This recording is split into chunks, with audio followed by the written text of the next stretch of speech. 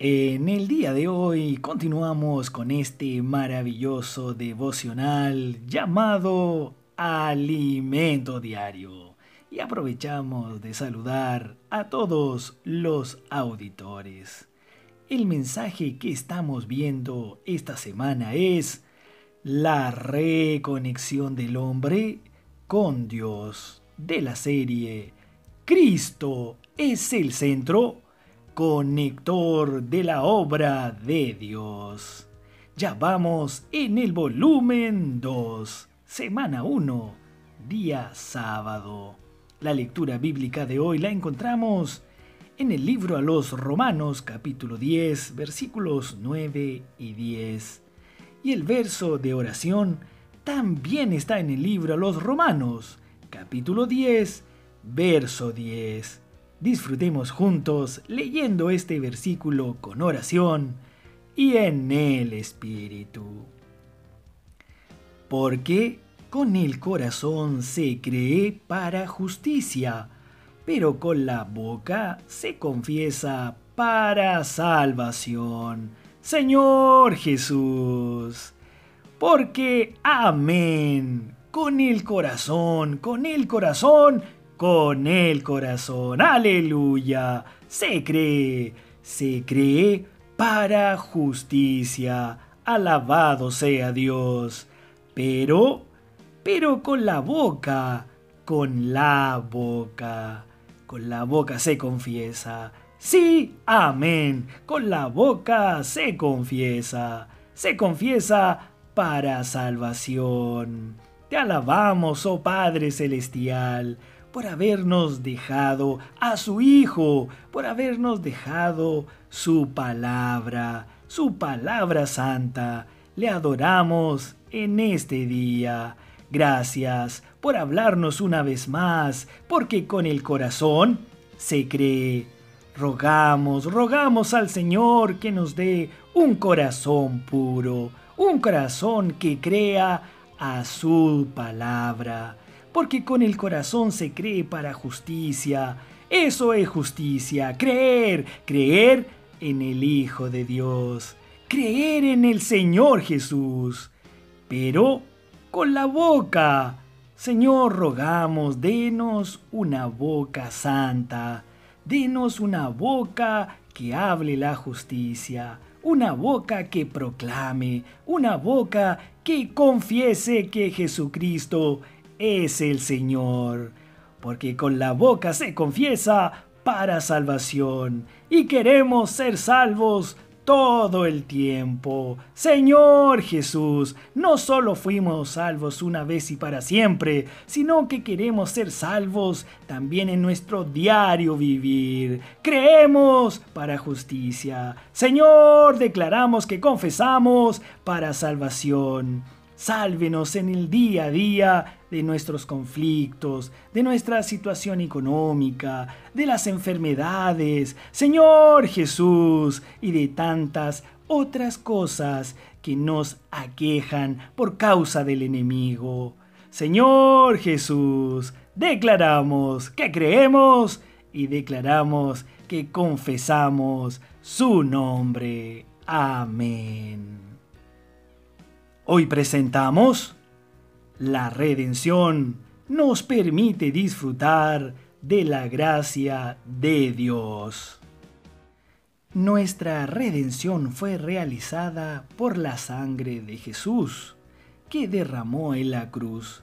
Sin derramamiento de sangre no hay perdón de pecados. Alguien tenía que morir por cada uno de nosotros. Y Cristo hizo eso, permitiendo que seamos trasladados de esfera. Pregunta, ¿cómo vivimos hoy? ¿Acaso vivimos bajo el gobierno del hombre, destituido de la realidad, lleno de injusticia, impureza, envidia, homicidios? ¿O vivimos bajo el gobierno de Cristo, siendo encabezados por nuestro amado Señor? El primer requisito para ser trasladado de la potestad de las tinieblas al reino del amado Hijo de Dios fue cumplida por la redención de Cristo, que derramó su sangre en la cruz. Señor Jesús, en quien tenemos redención por su sangre, el perdón, el perdón de pecados, según las riquezas de su gracia. Alabado sea el Señor. Efesios capítulo 1, verso 7. El río de la gracia fluyó con abundancia, supliéndonos con la redención de Dios. Él sabe lo que necesitamos. Para cambiar de reino necesitamos primeramente reconocer la obra de Cristo. El amor de Cristo hizo que Él muriera por nosotros, derramando su sangre, garantizándonos la redención. No por sangre de machos cabríos, ni de becerros, sino por su propia sangre, dice la palabra de Dios entró una vez para siempre en el lugar santísimo, habiendo obtenido eterna, eterna redención. ¿Cuánto más? Sí, amén. ¿Cuánto más la sangre de Cristo, el cual mediante el Espíritu Eterno se ofreció, se ofreció a sí mismo sin mancha a Dios, limpiará, aleluya, limpiará vuestras conciencias de obras muertas, para que sirváis al Dios vivo. Y así todo es purificado según la ley, con sangre, y sin derramamiento de sangre, no, no se hace remisión. Hemos leído Hebreos capítulo 9, verso 12, verso 14 y 22. Nosotros fuimos justificados gratuitamente por medio de la fe en Cristo, en Cristo Jesús, porque Él, siendo el Hijo de Dios, fue a la cruz y realizó la eterna redención, la cual tiene eficacia eterna para perdonar nuestros pecados y trasladarnos de reino. Aleluya. Sin la redención no podríamos disfrutar de la gracia siendo justificados gratuitamente por su gracia, mediante la redención que es en Cristo Jesús. Romanos capítulo 3, verso 24. Todos nosotros que creemos en el Señor Jesús fuimos justificados mediante la redención y al ser así reconciliados, reconciliados, tenemos ahora Paz con Dios, tenemos paz. Por gracia fuimos salvos. No necesitamos hacer absolutamente nada. Solo creímos. Efesios capítulo 2, versos 5 al 6 y verso 8. Incluso el creer no viene de nosotros. Es un don que Dios nos da. Creer es el don de Dios dado a cada uno para que creamos. Y hoy continuamos, sí, continuamos creyendo en el hablar de Dios. Cuando una persona cree, esa persona nace del Espíritu.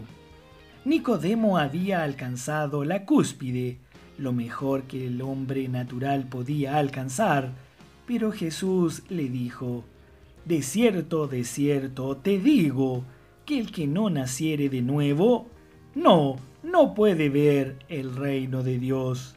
El que no naciere de agua y del Espíritu, no puede, no, no puede entrar en el reino de Dios. Juan capítulo 3, verso 3. El traslado de reino ocurre por el nuevo nacimiento, por la regeneración del Espíritu. Y para ser regenerado en el Espíritu basta creer con el corazón que Dios, Dios resucitó a Cristo de entre los muertos y confesar con la boca que Jesús es el Señor. Romanos capítulo 10 versículos 9 y 10. De esa manera fuimos trasladados a la esfera del reino de Dios y somos gobernados por Cristo y guiados por el fluir del río de la gracia. Alabado sea Dios. En el fluir de la gracia disfrutamos el dispensar abundante del Dios triuno, proveyéndonos todo tipo de bendiciones espirituales. Dios nos suple con todo lo que necesitamos. Dios mismo como gracia, como la realidad y la verdad vienen a llenar cada espacio vacío de nuestro ser.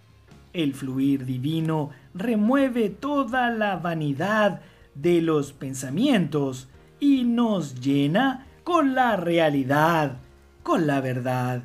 Y así nuestra vida pasa a tener un verdadero sentido. Cristo desea santificar a su iglesia, desea purificarla mediante el lavamiento del agua por la palabra, removiendo de nosotros toda la contaminación de Satanás, las cosas del viejo hombre, llenándonos con la realidad de Dios. Señor Jesús, cuando practicamos la inmersión en la palabra, la predicación del Evangelio, el colportaje, la obra de misioneros, que sale a orar por las personas, a las calles y a todas las plazas, y el cuidado para con los hermanos, nos llenamos de la realidad de Dios. También nos llenamos de la justicia, de la santidad y de su gloria. Y crecemos hasta la plenitud de Dios y de conocer. Amén. Y de conocer el amor de Cristo que excede a todo conocimiento. Para que seáis, sí, para que seáis llenos de toda la plenitud de Dios. Efesios capítulo 3, versículo 19. Amados hermanos, amadas hermanas, hoy Dios está haciendo en la iglesia lo que no pudo ser concluido en el huerto del Edén. Él nos llamó a rescatar a las personas, para trasladarlas de reino, para llenar su iglesia con la realidad hasta alcanzar toda, toda su plenitud. Aleluya, alabado sea Dios por la palabra de hoy. La redención nos permite disfrutar de la gracia y la plenitud de Dios. Amén. Hasta aquí llegamos hoy. Mañana continuaremos con este precioso mensaje. Ahora tenemos una pregunta. ¿Cuál es la relación entre la redención y el reino del amado Hijo de Dios? Amados auditores, que todos tengan un día lleno de alegría, lleno de la gracia de Dios y también lleno de muchas bendiciones. Amén.